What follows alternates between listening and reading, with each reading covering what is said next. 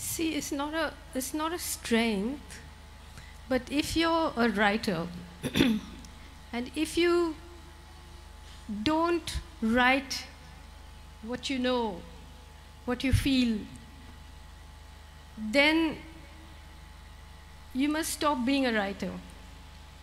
You know, so it's not a strength so much as the fact that I don't have a choice.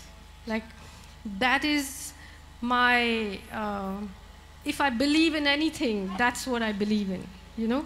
So, so often, especially when I write nonfiction, something happens and I try to tell myself, just shut up, Roy, don't write.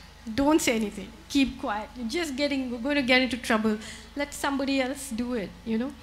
And then, then there's this kind of uh, storm that sets up in your blood, and you can't sit down, you can't eat, you can't, you, have to write it. And it's almost like a, uh, you know, it's a storm inside you. You can't not do it. It's actually that one doesn't have a choice. Uh, a, a, lot of my uh, nonfiction is a series of broken promises to myself. I say, don't write, don't write, don't write, and then I write, you know. So uh, it's, it's, it's about keeping the, the writing self alive, you know. So if you start, uh, if you start suppressing yourself, that writing self will die. I mean, today we are living, uh, our, our uh, session is called Things That Can and Cannot Be Said. Increasingly, there are more things that cannot be said that can be said today. But we have to remember that writers lived through Stalinism, writers lived through the Stasi, you know, writers lived through the crusade.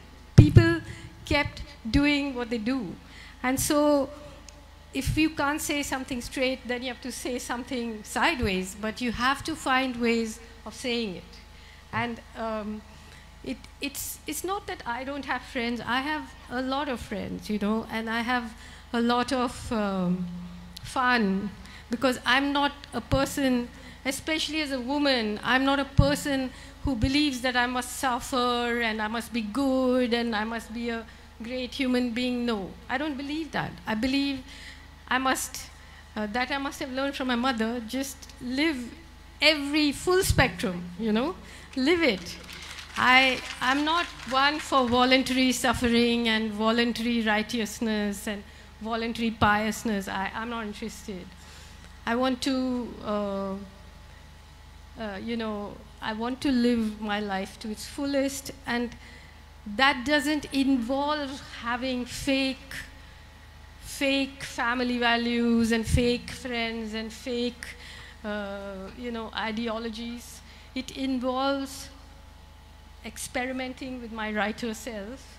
And whoever wants to stand with me, you're welcome. And whoever doesn't, goodbye.